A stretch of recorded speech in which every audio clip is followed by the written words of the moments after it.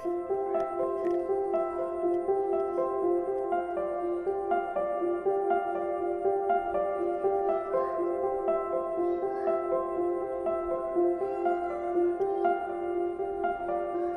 দেখো এটা হলো রবিবারের সকাল। সবে সবে ঘুম থেকে উঠেছি। আমি আর মেয়ে উঠেছি ঘুম থেকে আর বর একটু আগেই উঠে বাজারে গিয়েছিল। তো আমি দেখো এই দক্ষিণ পাশের জানলাটা দিয়ে না অনেকটাই রোদ্দুর ঢোকে। তো আমি প্রত্যেক দিন না বালিশগুলো একটু করে রোদ্দুরে দিই। এখন বর্ষাকালে না যতই কাঁচা জামা কাপড় বা কাঁচা বিছানা, চাদর পাতো না কেন, একটা কীরকম একটা গন্ধ ছাড়ে। তো আমি বিছানাটা গুছিয়ে মেয়েকে এই ব্রাশ করতে বসেছি। মেয়ে না দেখো এই ছাতাটা নিয়ে প্রচণ্ড দুষ্টুমি করছিল, ওই ছাতাটার ভেতর ঢুকে যাচ্ছিল। আর ও একা একা ওকে ব্রাশ করতে দিলে, ও ভালোভাবে ব্রাশ করতে পারে না, তাই ওকে আমি ব্রাশটা করিয়ে দিচ্ছিলাম। Good morning everyone welcome to Piku's blog and lifestyle তোমরা সকলে কীরকম আছো? আশা করছি ভালোই আছো। তো আমার শরীরটা খুব একটা ভালো নেই। আমার আমার প্রচণ্ড পাটা ব্যথা আমার তোমার ক্যালসিয়ামের পরিমাণটা কম হয়ে গেলে তখনই পাটা ব্যথা হয়। আর জল ঘটা তো প্রত্যেক দিনই পরে প্রচণ্ড পরিমাণে। তো দেখো সকালবেলা উঠেছি উঠে ব্রাশ ট্রাশ করে মেয়েও উঠে পড়েছে ওর বাবা মনে হয় বাজারে গেছে আমরা ঘুমিয়েছিলাম। তো ও আমাদেরকে আজকে আর ডাকেনি শরীরটা যেহেতু খারাপ তো মেয়েও উঠে পড়েছে। গুড মর্নিং বলো। তো চলো এখন থেকে আমি আমার ব্লগটা শুরু করছি। আই হোপ তোমাদের ভালো লাগবে আজকের ব্লগটা তো দেখতে থাকো। টাটা! প্রত্যেক সপ্তাহের ছ দিনটা যেরকমই যাক না কেন, রোববারটা আমার খুব ভালোই যায়। কারণ ভালো ভালো রান্না, কোথাও না কোথাও একটু বেরাই তো এইবারের এই মানে এই সপ্তাহের রোববারটা আমার খুবই খারাপ গেছে। কারণ আমার এতটাই শরীরটা খারাপ লাগছে আর এতটাই কোমর থেকে পা পর্যন্ত ব্যথা যে আমার কিছুই ভালো লাগছিল না। না রান্না করতে ভালো লাগছিল, না খেতে ভালো লাগছিল। তো ও যেই সবজিগুলো এনেছে সেগুলোই ঢালছিলাম, দেখছিলাম কি কি এনেছে। তো বেশি এবারে রোববারে সবজি আনেনি। বলছিল, প্রচুর দাম সবজির, আর বর্ষার সবজি তো বেশি করে এনে রাখলে না ফ্রিজে রাখলেও কীরকম একটা জল মারা থাকে, নষ্ট নষ্ট মতো হয়ে যাচ্ছিল। তাই ভাবছিলাম চিচিঙ্গাটাই কেটে নিই, আর চিচিঙ্গাটা রেখে দিলে কি হয় জানো তো, পোকা ধরে যায়। কেন কি জানি? তো দেখো, ও এখানে ব্রেড এনেছিল, তো ব্রেডগুলো না আমি একটু সেকে নিচ্ছিলাম, ওই জ্যাম দিয়ে খাব বলে। ও বলছিল, একটু ডিম পাউরুটি টোস্ট করবার কথা। তো আমার না একদমই দাঁড়াতে ইচ্ছা করছিল না, ভালো লাগছিল না। তো আমি কি করলাম, একটু ওই জ্যাম পাউরুটি ওকে দিলাম। আসলে কী হয় বলো তো জ্যাম পাউরুটি খেলে না ওর আবার পেট ভরে না। তো যাই হোক, ওই জ্যাম পাউরুটি খেয়ে একদম স্নান করে আমি ঠাকুরটা আগে দিয়ে নিই, তারপরেই রান্না বসাবো। ও না, পাবদা মাছ এনেছিল।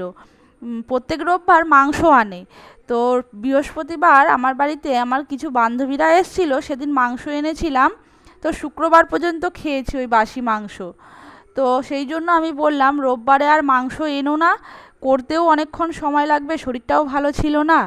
আর ও বলল যে, ঠিক আছে, তাহলে মাংস আনব না। ও পাবদা মাছ পেয়েছিল, ওই পাবদা মাছটাই এনেছিল। আমি ভাবলাম যে, কি করব পাবদা মাছের? আলু দিয়ে একটু কালিয়া মতো করি। আসলে পাবদা মাছে না কোনো দিনও আমি কালিয়া খাইনি। তো নিজে নিজেই পাকামো মেরে ওই কালিয়াটা করতে গিয়েছিলাম। তো এতই বাজে হয়েছিল খেতে, আসলে পাবদা মাছে পেঁয়াজ রসুনটা যায় না। আমি জানি, তবুও ভাবলাম একটু নতুন ধরনের করে দেখি যদি ভালো লাগে। তো দেখলাম ওদের দুজনের ভালো লেগেছে, তো আমার একটুও ভালো লাগেনি। মনে হচ্ছিল কীরকম একটা যেন লাগছিল।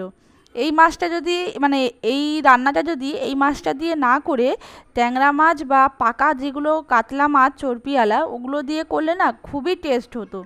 তো দেখো, আমি রান্নাটা করছিলাম, তো আমি ভাবলাম যে একটু তোমাদের সাথে শেয়ার করি।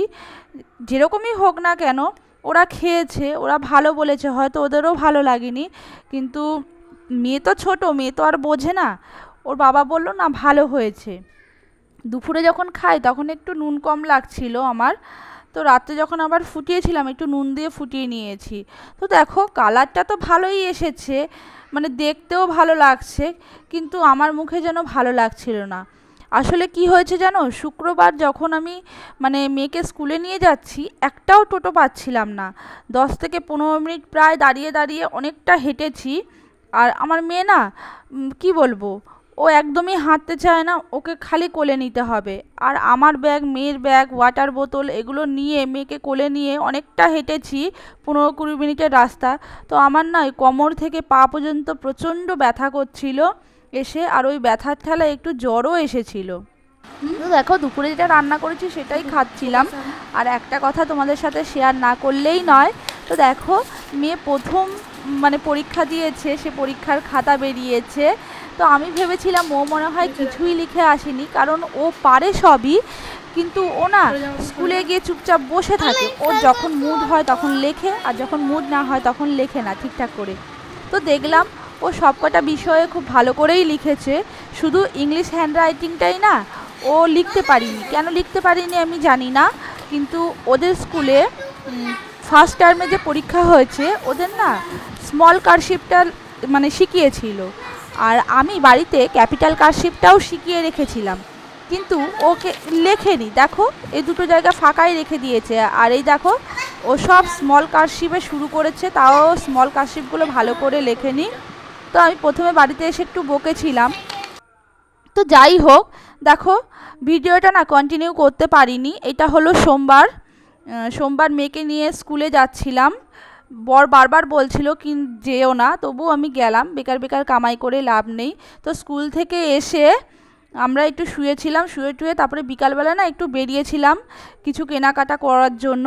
তো দেখো, বাজারের ভেতরে এটা দেখো, একটা তারা মায়ের মন্দির। এখানে না দেখেছি বাজারের ভেতরে তারা মায়ের মন্দিরগুলো মানে কি বলব, তারা মাগুলো যেগুলো মানে অনেকটা বড় বড় তারা মা আছে না, সেরকম যেন দেখতে কালী ঠাকুরগুলোকে।